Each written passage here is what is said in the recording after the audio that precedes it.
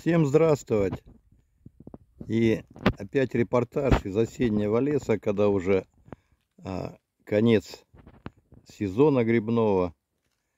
Все основные грибы уже отошли. Поход в лес. И попадаются по дороге вот эти вот грибы. Так называемая волнушка розовая. Вот такие вот они на внешний вид.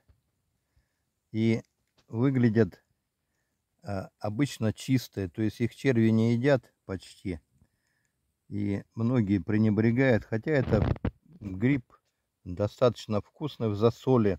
Идет только он в засол. А, чем отличается от остальных? Вот такие вот у него концентрические круги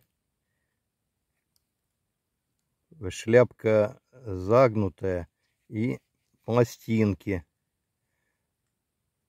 А ножка полая. То есть на разрезе там отверстие в ножке. Это э, гриб относится к классу млечников. То есть на срезе дает такой жгучий сок. И перед тем, как его засаливать, его желательно вымочить.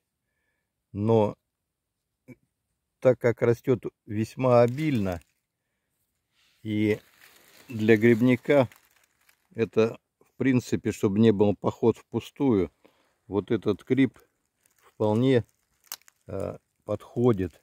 Волнушка розовая. После вымачивания, э, так как он жгучий, э, горько-жгучий такой на срезе сок млечный. После вымачивания его засаливают или горячим способом, или же можно холодным способом. Волнушка.